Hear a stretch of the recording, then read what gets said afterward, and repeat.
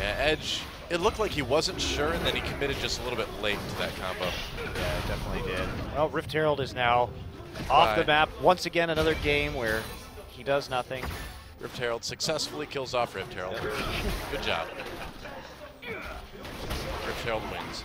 Oh, Um, Duke may not win this one. In fact, he's going to get Flash. I didn't even know that was I didn't possible. know it either. he's like, take me away from here, Tahm Kench. Let's leave this place